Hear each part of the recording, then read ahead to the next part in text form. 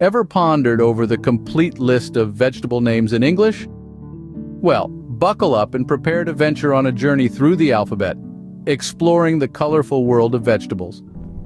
Starting with A, we have the humble artichoke, a unique vegetable with a nutty flavor, followed by asparagus, a slender green favorite.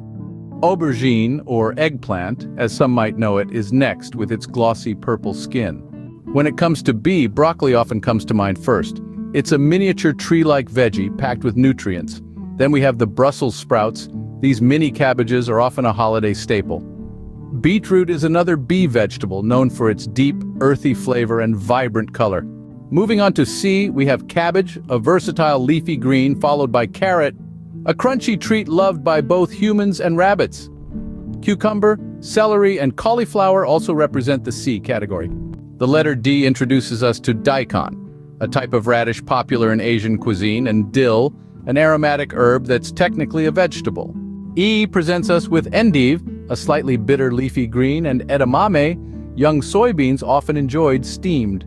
For F, we find fennel, a flavorful bulb with a licorice-like taste, and French beans, a classic side dish. The G gives us garlic, a staple in most kitchens, and ginger, a root vegetable known for its distinct flavor and medicinal properties.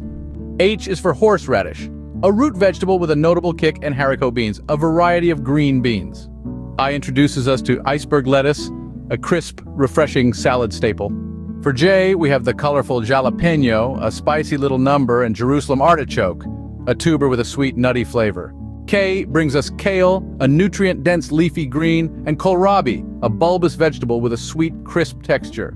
L is for leek, a mild, onion-like vegetable, and lettuce, a classic salad base.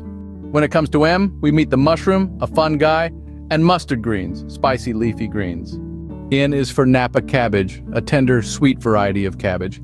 For O, we have the onion, a kitchen essential that can bring a tear to your eye.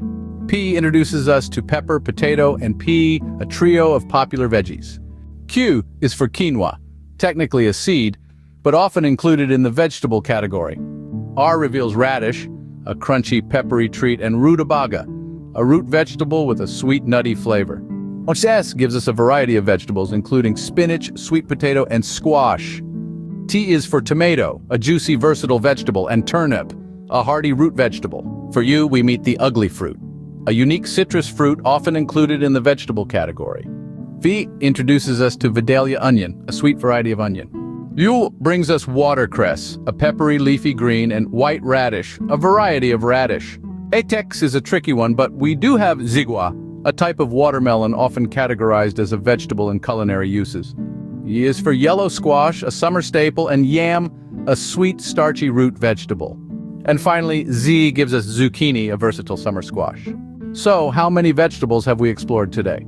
A grand total of 56 vegetables, each unique and filled with their own flavor and nutritional benefits. Remember, the world of vegetables is vast and varied. So don't be afraid to try something new. Who knows? Your new favorite vegetable might just be waiting for you to discover.